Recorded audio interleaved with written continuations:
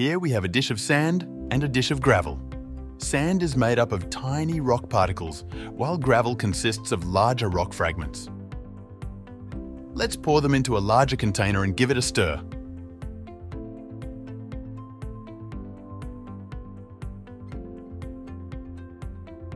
This forms a mixture of sand and gravel. The two materials are now combined and the individual grains of sand and pieces of gravel are distributed throughout the mixture. How could we separate this mixture to get just sand and gravel again?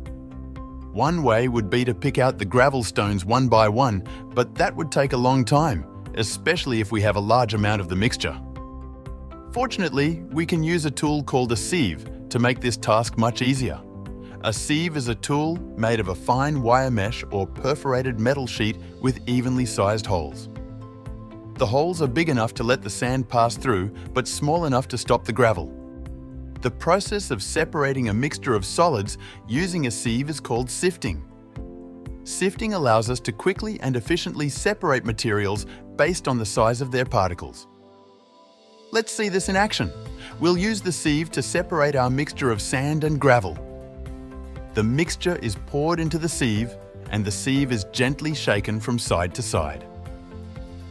As the sieve is agitated, the sand grains fall through the holes in the mesh, while the larger gravel pieces remain on top of the sieve.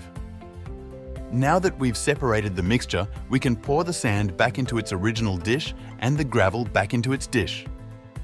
The sifting process has successfully separated the mixture into its individual components, sand and gravel, based on the difference in particle size.